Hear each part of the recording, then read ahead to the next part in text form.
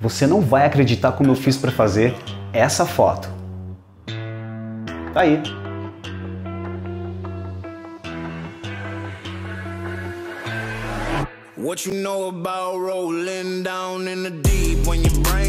Siga a Trupe para mais dicas e boas fotos para você.